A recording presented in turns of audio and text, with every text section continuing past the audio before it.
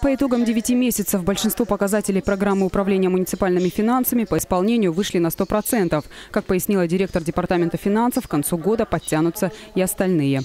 Это такие показатели, как своевременная сдача проекта бюджета э, в представительный орган власти на рассмотрение.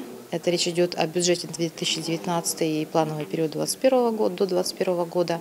Это такие показатели, как организация на территории муниципального образования э, мероприятий по финансовой грамотности, где э, охват жителей города должен быть порядка полутора тысяч человек.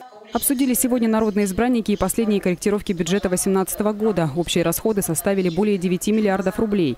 При этом Людмила Щегульная подчеркнула, что доходы балансируют с расходами, и этот финансовый год удается закончить без привлечения кредитных ресурсов.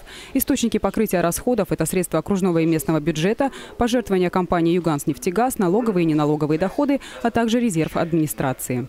Денежные средства в основном будут направлены э, на оплату труда, на э, обязательства, которые приняты в течение 2019-2018 года. И э, в основном это ну, более имеют социальную направленность.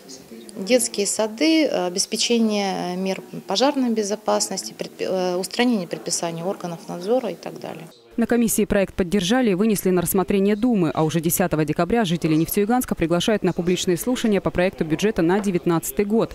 Главный финансист заверила, что он будет социально направленным и интересным для горожан. Начало в 6 вечера в Большом зале городской администрации.